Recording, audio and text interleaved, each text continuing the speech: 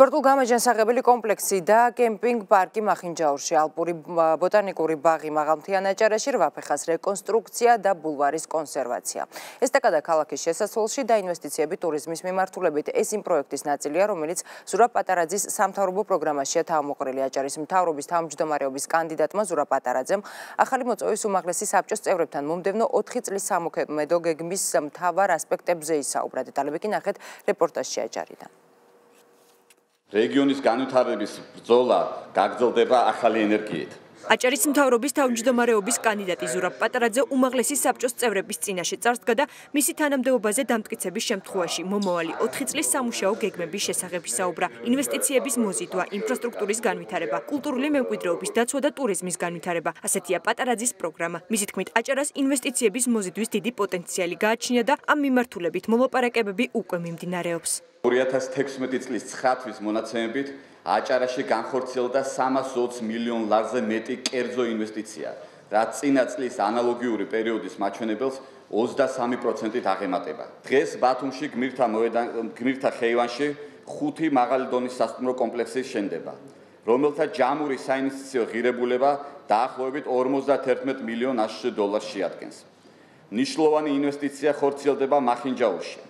უცხოურმა კომპანიამ 3 მილიონ 900000 ლარად შეძენილ მიწის ნაკვეთზე სასტუმროსა და სარეაბილიტაციო გამანჯანსაღებელი ცენტრი უნდა მოაწყოს.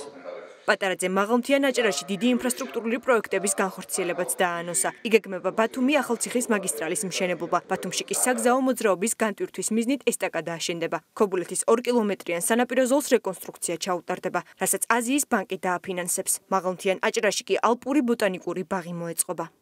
2017 წელს გაზაფხულზე დაიწყება ბათუმი ახალციხის საავტომობილო გზის ხულოს აზმის მონაკვეთის რეაბილიტაცია. ინფრასტრუქტურული პროექტებია დაგეგმილი ბათუმისა და ქობულეთის სანაპირო ზოლის აღდგენა გამაგრებისათვის.